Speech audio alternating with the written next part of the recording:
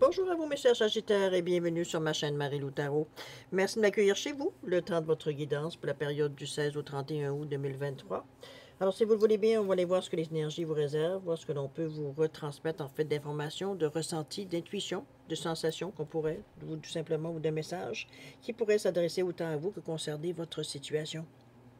De votre côté, il est important que vous teniez compte, c'est un tirage qui est général. Il y aura donc des informations qui vont correspondre à votre situation, d'autres qui vont correspondre un peu moins et d'autres pas du tout. C'est un peu le côté, comme j'ai l'habitude de dire, du côté un peu ingrat du tirage général. C'est aussi la raison pour laquelle je vous dirige toujours vers votre signe ascendant ainsi que votre signe lunaire. Ce sont des énergies qui vous appartiennent, mais qui également ont une incidence dans votre vie. Mais c'est surtout un moyen euh, très facile, très rapide, d'aller chercher de l'information supplémentaire, plus, plus complémentaire, aussi d'aller chercher un tirage plus consistant euh, pour en chercher des informations complémentaires, supplémentaires, ou tout à fait avoir un autre point de vue, c'est-à-dire une autre approche face à ce qui nous arrive dans notre vie, à la façon de voir les choses tout simplement, qui nous amène à avoir d'autres pensées, d'autres réflexions, d'autres d'autres idées pour justement euh, bon, arriver à régler certains problèmes. Alors, à vous de voir, étant donné que c'est vous qui décidez, on vous dit toujours d'exercer euh, votre libre arbitre et votre discernement en tout temps, c'est-à-dire de prendre uniquement les informations qui vous concernent, concernent votre vie, votre situation, que votre euh, intuition soit en accord avec ce qu'elle entend, comme parfois certains, certaines paroles peuvent aussi résonner à l'intérieur de vous. Sinon, on laisse passer tout simplement, c'est pas à vous, dans un contexte de tirage général. Ça ne vous appartient pas. OK? Si on allait voir maintenant les outils utilisés pour votre guidance euh, pour cette période du 16 au 31 août. Alors, j'ai choisi le tarot des anges gardiens pour l'énergie globale ou ce qui pourrait s'avérer la tendance. Ensuite, on va, on va travailler avec les portes de l'âme, le tarot, l'oracle de des chakras, ainsi que l'oracle euh, du quantique en première partie. En deuxième partie, à l'aide des réponses angéliques, on va répondre à deux questions. C'est vous qui déterminez toujours le domaine. Ensuite, on va mettre, euh, il y a la carte également, l'oracle du temps, qui va nous donner un délai, une période, veut dire où les choses pourraient se, les chances sont mieux que les, choses se, puissent se, se, réaliser. Alors voilà grosso modo les outils utilisés pour votre guidance pour la période du 16 au 31 août 2023. Maintenant, de mon côté, j'aimerais vous dire euh, euh, merci. Merci pour votre participation, mais également votre soutien et votre fidélité à la chaîne Marie-Lou Marie Tarot. J'aimerais vous dire un gros merci. Merci beaucoup de vos encouragements. C'est très, très apprécié. J'aimerais aussi souhaiter bienvenue à tous, nouveaux abonnés. Alors, bienvenue dans cette belle gang. Comme vous allez voir qu'on est un groupe assez, serré. Alors, merci de votre présence et de m'encourager aussi dans cette occupation-là. Alors, cher ami euh, Sagittaire, maintenant, si on allait voir euh, ce que les énergies vous réservent pour votre période du 16 au 31 août 2023, et on va débuter tout de suite, si vous voulez bien, avec l'énergie globale, ou ce qui pourrait s'avérer la tendance pour votre quinzaine. C'est parti.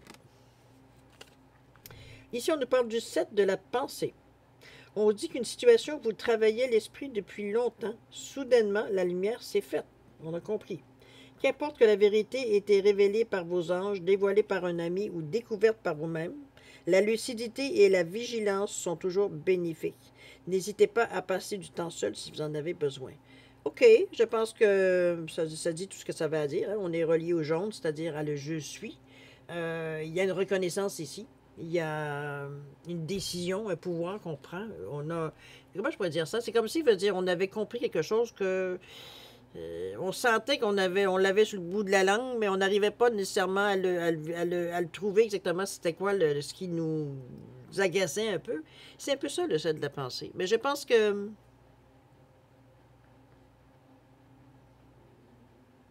Je pense que c'est pas, pas nécessairement que ce que vous avez, en avez déduit ou ce que vous avez conclu ou ce que la réponse que vous attendiez veut dire qui vient à vous euh, pourrait vous avoir ébranlé, pourrait vous ébranler, on pourrait le dire du au futur ou au présent. Euh, mais c'est pas quelque, quelque chose que vous êtes en mesure, il faut que vous ayez l'impression qu'il va falloir intégrer à l'intérieur de nous. C'est quelque chose qu'il va falloir digérer, comme j'ai l'habitude de dire. Euh, parce que c'est peut-être gros pour vous, ou c'est une vérité de la palisse, ou c'est enfin j'ai compris. C'est comme si comment je vais maintenant mettre ça dans ma vie. Euh, bon.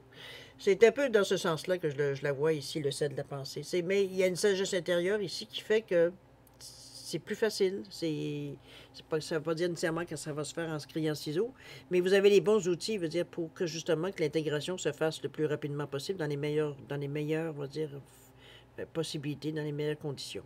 OK? on va aller voir un peu dans votre état d'esprit, un peu comme qu'est-ce que vous cogitez justement, si ça a une influence ou ça a une, une incidence sur vos pensées. Ici, j'en ai deux parce que j'en ai fait tomber deux. Alors, j'ai pris les deux. Comme d'habitude, je ne résiste pas.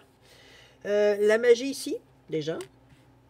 Les deux cartes où on nous parle de la projection et on nous parle de l'altruisme. OK. C'est quand même, euh, vous mettez quand même des conditions assez euh, gagnantes, on va se dire. Et la toute dernière où on nous parle de le sage. Bon, OK. On arrive à trouver, veut dire, quelque chose qui nous, qui nous renvoie dans un contexte. Donc, il fait que nos inquiétudes, tout ce qui peut nous, nous embêter ou qui peut nous empêcher d'aller chercher le maximum de ce qu'on a compris ici ou de ce qu'on a à comprendre, veut dire, ça, ça, ça sa raison d'être. C'est un peu dans ce sens-là qu'on vient de, découvrir ici. La magie, où on nous parle d'ouvrir votre esprit à toutes les possibles et comme par magie, votre vie changera. Ici, il ne s'agirait pas de, Moi, je pense que cette magie-là, regardez-moi tous les, ce beau bleu créatif qui nous annonce, évidemment, de la créativité, donc des idées, de l'imagination.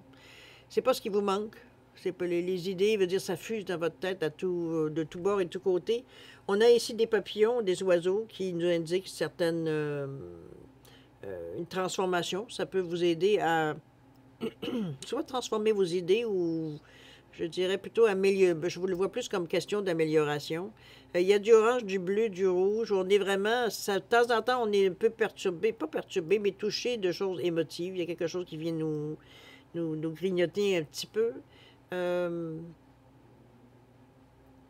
ce que je retiens surtout de la carte, par rapport à la définition de la carte aussi également, c'est comme si à quelque part on vous demandait de ne pas tout mettre vos œufs dans le même panier. C'est un peu dans ce sens-là que je la verrais, moi, au niveau de la magie. Parce que c'est ce qui fait que peut-être toutes les idées qu'on a émises ou qu'on, nos intentions qu'on a émises, veut dire beaucoup certaines choses qu'on a mis en place, veut dire, certains projets, certaines idées qu'on a peut-être écrites ou lignes directrices ou projets éventuels.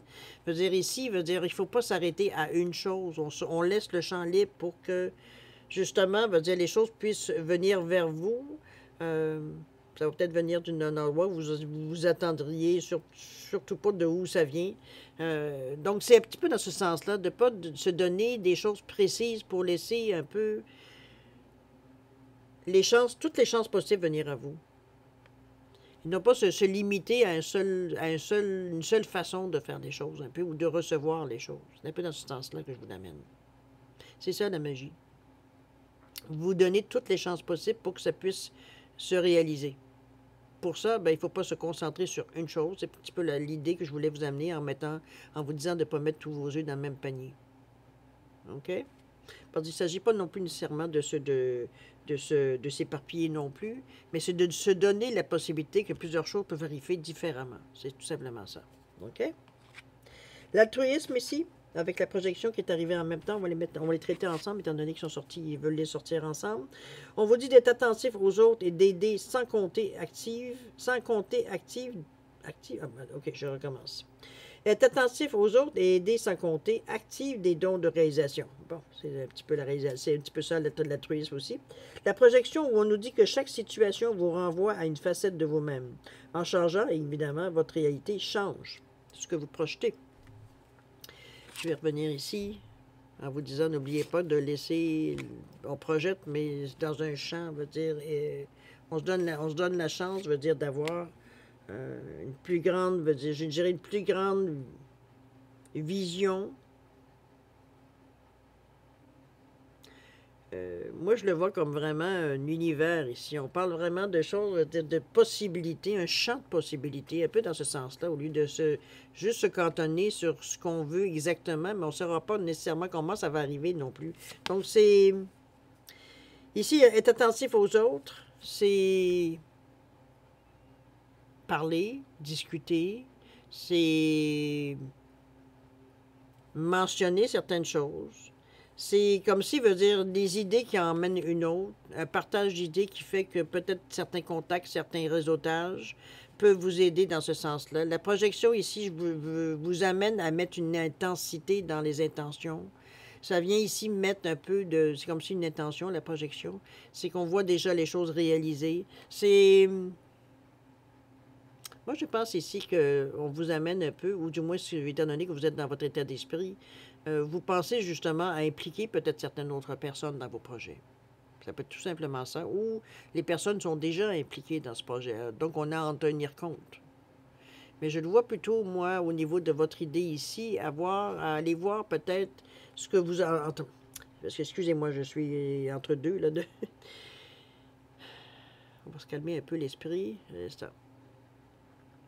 C'est comme si, veut dire, on essayait de vous dire... Euh, Donne-toi la chance de t'ouvrir, veut dire, à toutes les possibilités qui pourraient arriver. Tu sais pas ce qui pourrait en découler. Ça pourrait aider. C'est un peu dans cette idée-là qu'on vous ramène encore une fois, de ne pas vous concentrer particulièrement sur une chose en particulier. C'est un peu dans ce sens-là. On ne vise pas qu'une chose parce que ça vous limite à cette chose.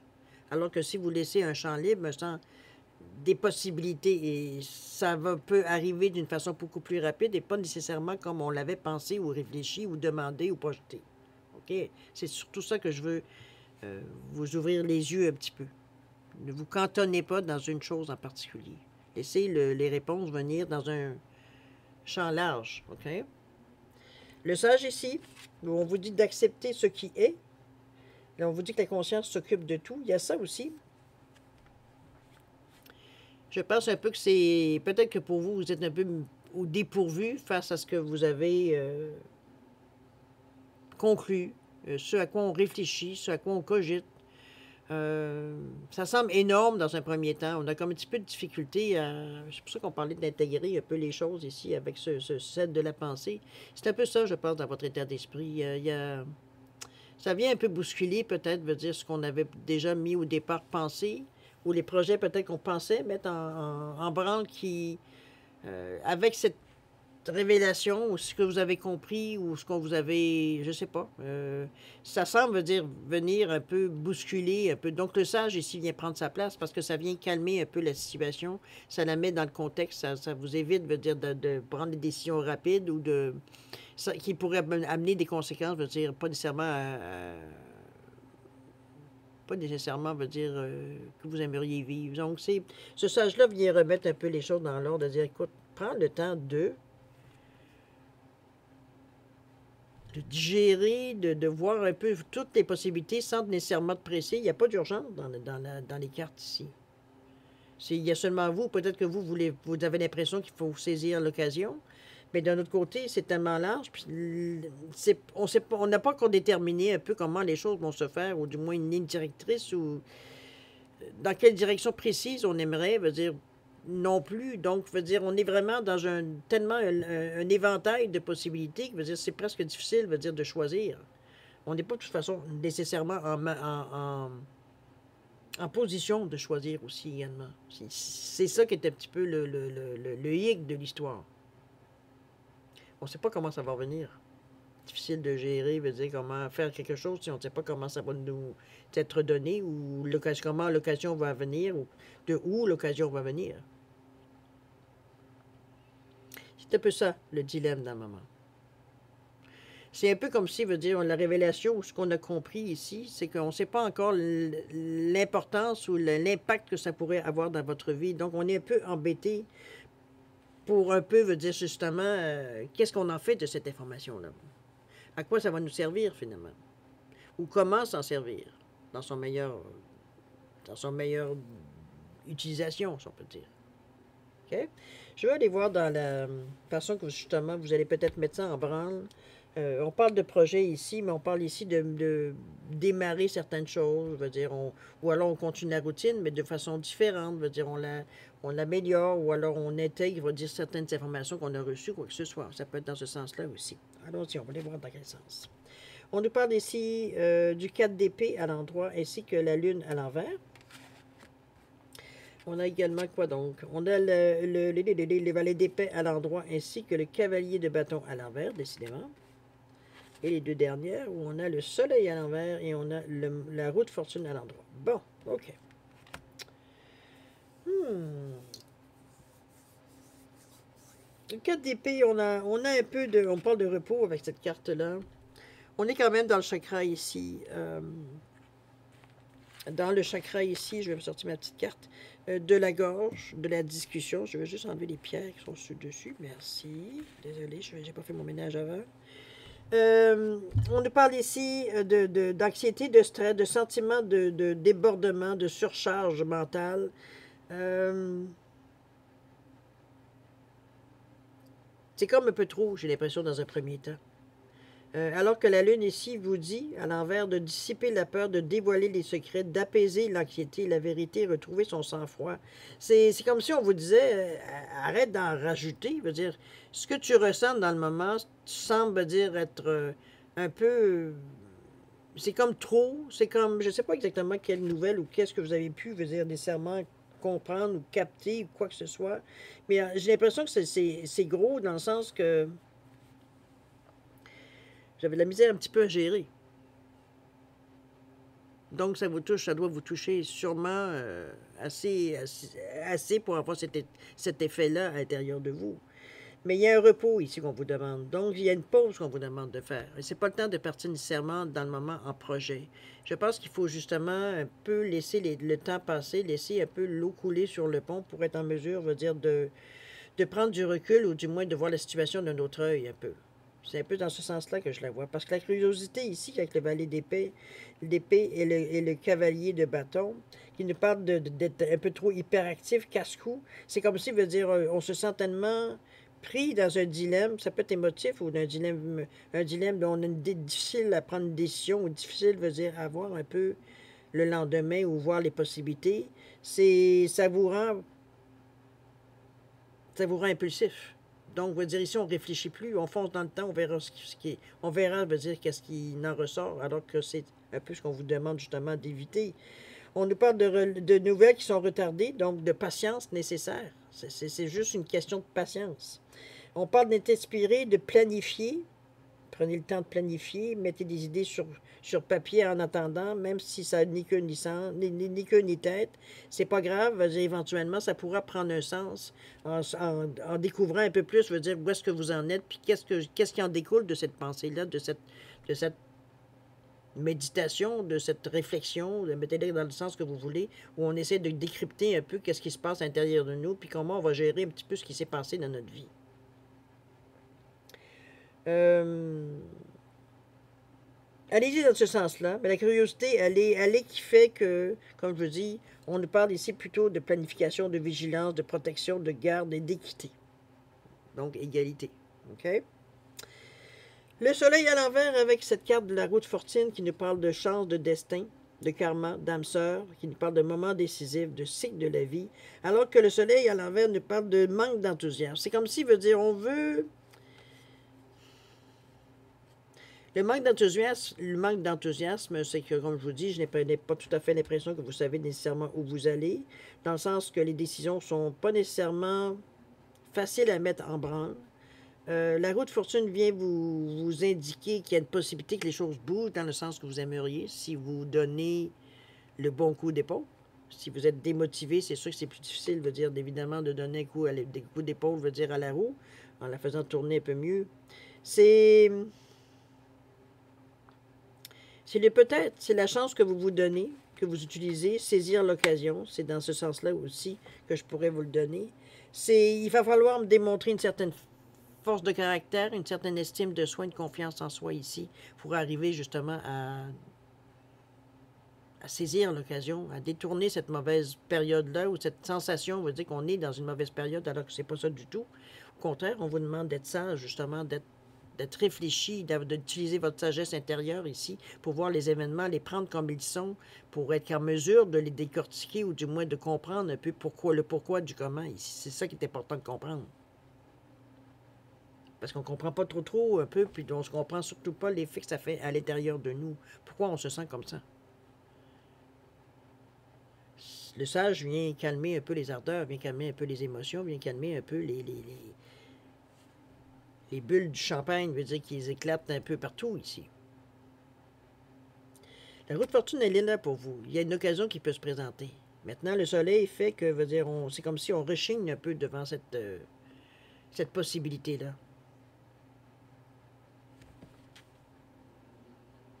Peut-être qu'on ne se sent pas prêt à, sauter, à sauter à autre chose, possible. Mais je suis certaine, l'occasion se présente. Est-ce que vous allez les saisir? Ça, c'est vous qui allez le dire. On a envie. Maintenant, est-ce qu'on va décider? Hmm. Ouais. On va passer, si vous le voulez bien, éventuellement. On va passer maintenant, si vous voulez, dans l'action. J'ai bien hâte de voir l'action, un peu comment vous allez la, reprendre. Parce que franchement, il y a une, comment je pourrais sentir ça? Il y a une indécision, mais d'un autre côté, il veut dire, il y a aussi un sentiment à l'intérieur de nous qui nous pousse à aller. On a quand même une idée, mais j'ai l'impression qu'on régime un peu contre l'idée. On n'est pas tout à fait prêt, veut dire, à prendre nos dispositions, j'ai l'impression. On va voir de toute façon dans l'action. Qu'est-ce qu'on nous parle ici? On nous parle du mérite avec la conscience. On nous parle également de l'intention, en vous, disant de ne pas prendre de risques. Et la toute dernière, la conscience, on nous parle d'optimiste encore une fois. OK. Moi, je pense qu'on est un peu partagé. Heureusement, veut dire la conscience fait que vous revenez à, votre, instinctivement, vous revenez à votre à votre, ce qui vous pousse à normalement, vous reprenez ce qu'on pourrait dire vos esprits, on va dire de cette, façon, de cette façon-là. Ici, on parle avec le 6, la conscience, le mérite, on nous parle de votre vraie valeur. Je pense qu'on commence à se... On arrête de se dénigrer, j'ai plutôt l'impression ici, où est-ce qu'on reprend un peu nos sens. Il y a beaucoup de jaune dans votre carte ici. On est relié au chakra, on va dire, du euh, plexus solaire, où je suis. On parle d'avoir de confiance en nous, confiance en nos, en nos, en nos compétences, euh, notre estime de soi veut dire, elle est là, on, se... Comment je pourrais bien dire ça? On est... Euh, le, troisième chakra, c'est le plexus solaire, c'est relié où je suis, c'est relié au soleil. Donc, c'est éclairé, c'est de la chaleur, c'est de l'expansion, c'est vraiment... Euh, ici, on n'est pas du tout à rester dans l'ombre. C'est un peu ça peu qu'on vous dit en reprenant votre valeur ici. C'est comme si, veut dire, on vous amenait, veut dire, à penser, ou à du moins, on vous suggère ici de reprendre vos esprits, de, de vous voir exactement comme vous êtes, et non pas de... Parce que parfois, on a des moments où on se sent euh, en dehors de nos pompes, on a l'impression, on va dire qu'on est totalement incompétent ou qu'on n'arrive totalement pas à gérer la situation, alors que ce n'est pas du tout la situation. J'ai l'impression que c'est plus euh, une sensation que vous avez que la réalité, autrement dit. Je pense que c'est commencer à faire le point, à réévaluer, il veut dire peut-être nos, forces, nos outils, euh, avant de partir à l'action. Ça dans ce sens-là aussi. On regarde un peu notre équipement dans ce sens, dans l'image que je veux vous amener. Parce qu'on parle ici de votre vraie valeur. Donc, ce que, vous, ce que vous êtes en mesure de faire, veut dire que vous pensez que vous n'y arriverez pas, le manque de confiance, alors qu'ici, avec cette couleur-là, on vous ramène à l'estime de soi, à l'estime, à la confiance en soi aussi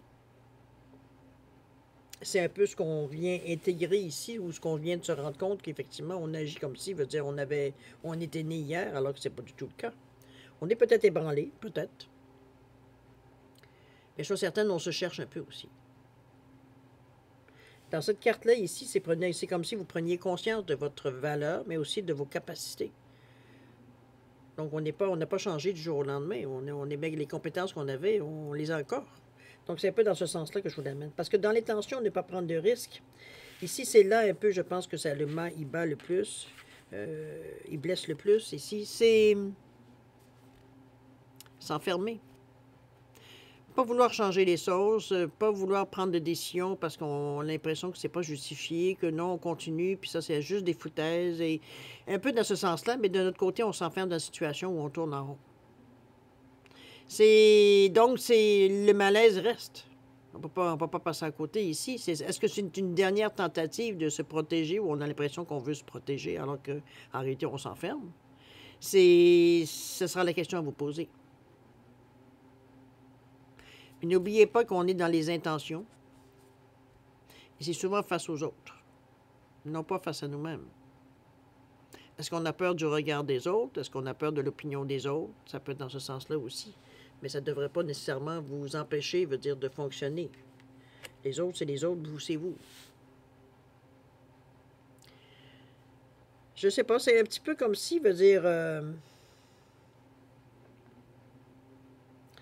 on avait parfois l'impression, veut dire, de, de vivre, de, de, regarder les autres vivre, mais que nous, on est un peu comme si vous étiez dans un aquarium, que vous regardiez tout autour, mais que vous, vous êtes toujours dans votre petit, petit aquarium, veut dire, en train de, nager, veut dire, en rond. C'est un peu la, sensation ici de s'enfermer. Pas vouloir prendre de risques, pas vouloir prendre de risques, mais puis, quand on parle de risques, c'est faire des choses que d'habitude on n'a pas l'habitude de faire. C'est pas nécessairement des choses dangereuses qui, pourraient vous mettre en danger, quoi que ce soit. C'est juste faire les choses différemment. On a des idées différentes, on laisse s'exprimer notre créativité, notre, joie de vivre, notre, vous avez, comme je dis, vous avez vu neiger, vous n'avez pas vu neiger hier, vous, vous avez une expérience de vie, vous avez, vous avez acquis des, des, des, des compétences, vous dire, au fil du temps, donc c'est pas, vous n'êtes pas démunis. Mais ici, on dirait qu'on est dans une position où on n'est pas tellement sûr de nous, donc on a des difficultés à prendre, des, à prendre une décision, mais aussi également à oser aller vers d'autres choses. Mais ça provoque un enfermement, et c'est ce qu'on vous met en garde ici par rapport à ça. Je pense que cette, cette énergie-là ne durera pas très longtemps. Euh, parce que par rapport à la conscience ici, qu'on nous parle d'optimisme, mais euh, si je regarde ces deux cartes ensemble, surtout qu'elle est entre deux jaunes, c'est vraiment, euh, je dirais, un dernier sursaut.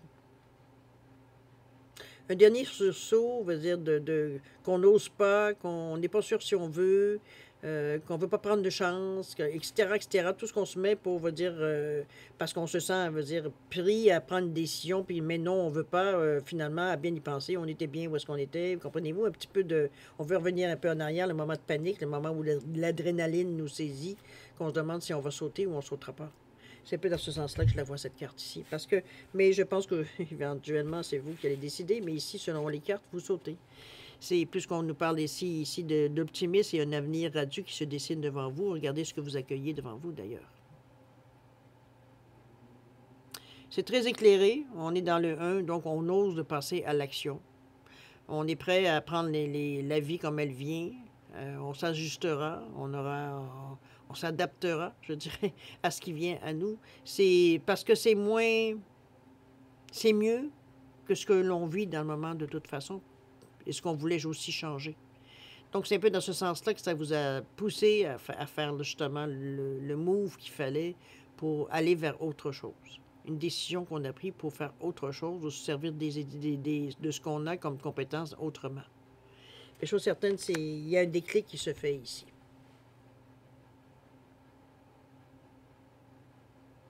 Moi, je le vois comme quelque chose de bien, d'innovateur.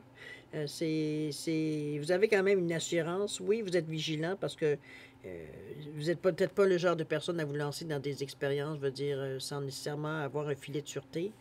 ici, ça peut, c'est limité, le filet de sûreté, mais il existe. Donc, c'est pas, pour vous, c'est un avenir radieux. Vous avez accepté qu'il peut avoir certaines choses dans votre vie que vous ne contrôlez pas mais vous vous donnez quand même cette chance pour voir un peu où est-ce que ça peut vous amener. Parce qu'ici, on ne sent pas que vous, vous le faites à contre-coeur, aucunement. C'est comme si, veut dire, on souffre, c'est comme il arrivera ce qui arrivera. On ose l'aventure ici. Si aventure il y a, évidemment. OK?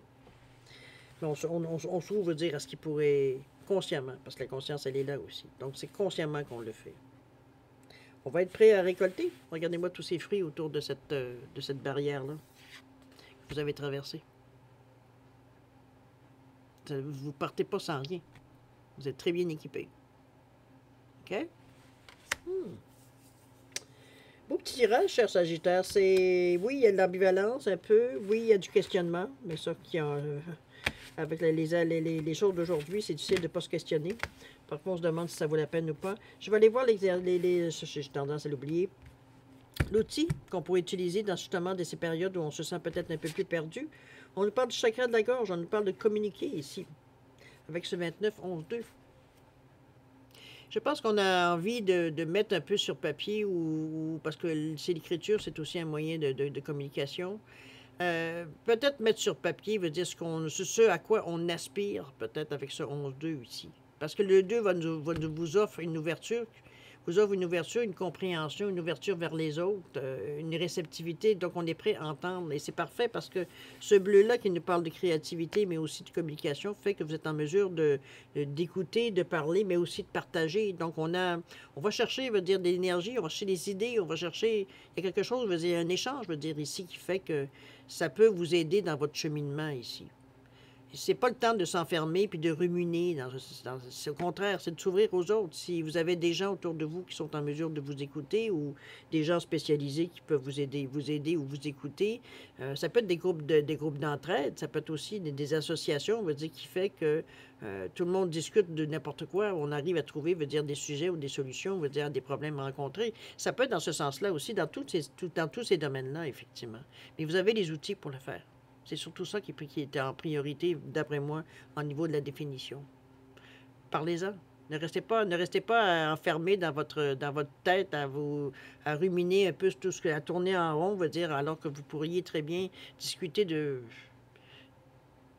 ce qui vous préoccupe, ou du moins d'en parler, veut dire tout simplement pour voir un peu la réaction des gens, mais surtout ce que les gens, ont à en dire, qui pourra, comme je vous dis, vous aider peut-être à éclaircir ou prendre du recul face à votre situation ça vous permettra sûrement, dire, de, de, de, voir les choses autrement. C'est peut-être pour ça qu'éventuellement, vous vous lancez finalement en tout dernier, parce que c'est en tout dernier que vous lâchez prise.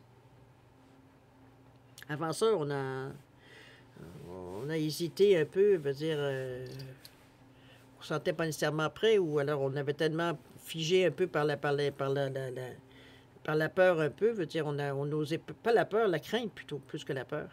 Euh, la crainte que ça aille pas comme on voudrait que ça aille. Euh, mais on s'est repris. Vous êtes un signe de feu, cher Sagittaire.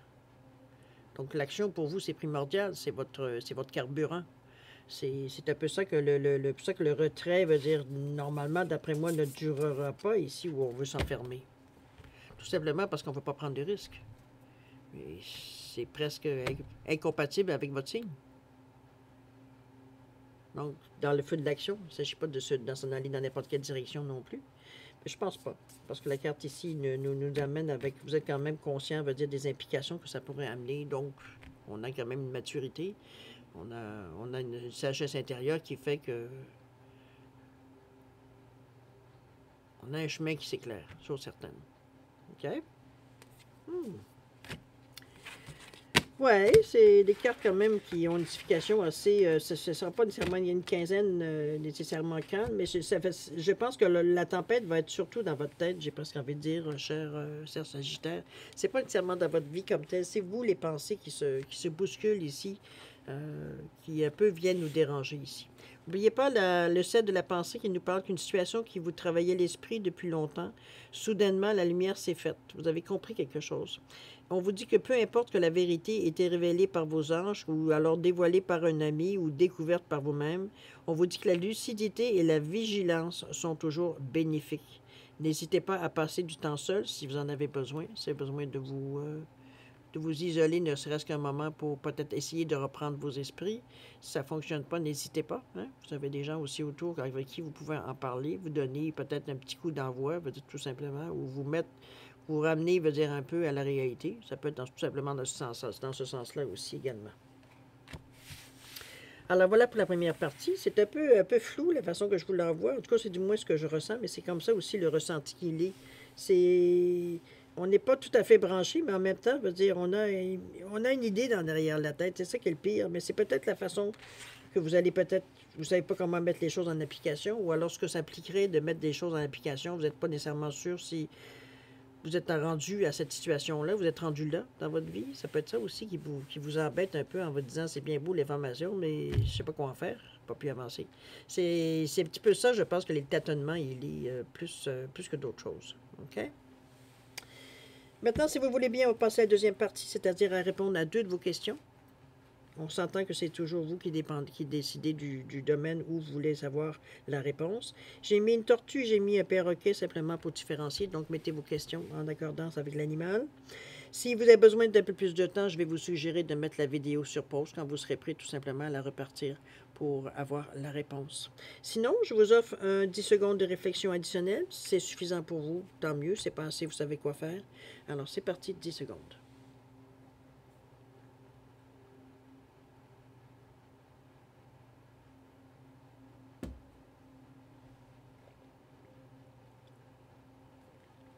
Alors voilà, cher ami, c'est le moment de passer à la réponse à vos questions.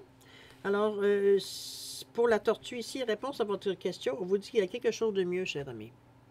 Vous limitez peut-être à certaines choses plus sécurisantes pour vous, mais ça ne sera pas nécessairement assez, assez significatif peut-être pour faire un changement dans votre vie. C'est simplement ça ici. Il faudrait peut-être oser un petit peu plus. Il y a quelque chose de mieux ici. Au niveau du temps, on vous dit l'été. Donc, c'est présentement que ça se passe. C'est présentement qu'il va falloir prendre des décisions, il va falloir chercher à aller plus loin, fouiller un peu plus, etc. etc. De- dépendamment de votre question, évidemment, et votre ressenti. OK? Cet été. Pour les perroquets, réponse à votre question. On parle de rétablissement ici. Les choses reviennent à la normale euh, dans tous les domaines de votre vie, selon votre question, évidemment. Premièrement, pour commencer. Mais on pourrait le mettre dans un état général. Au niveau du temps, on parle de une semaine. C'est quand même assez rapide, hein? Vous me le direz. Une semaine, cher ami. Les choses se rétablissent, on revient à la normale. Alors, tant mieux. si on, se relie au niveau du tirage, ça vous ramène euh, dans cette quinzaine-là, ça vous ramène rapidement pour passer, pour, déjà poser certains jalons. Alors voilà, mes chers euh, Sagittaires, c'est ainsi que se termine votre guidance pour la période du 16 au, 30 et- au 31 août 2023. Évidemment, je vais vous remercier encore une fois de m'avoir accueilli chez vous. Très gentil de- le temps de votre guidance, très gentil. Euh, comme d'habitude, je vous souhaite le meilleur, beaucoup d'amour, de santé, de prospérité. Faites attention à vous, c'est important, mais vous êtes aussi important pour l'univers. Vous avez votre place. Alors, chers amis, je vais vous dire, euh, nous, on se revoit d'ici une quinzaine. Alors, euh, je vais vous souhaiter encore évidemment le meilleur. Alors, nous, on se dit au revoir et à la prochaine. Au revoir.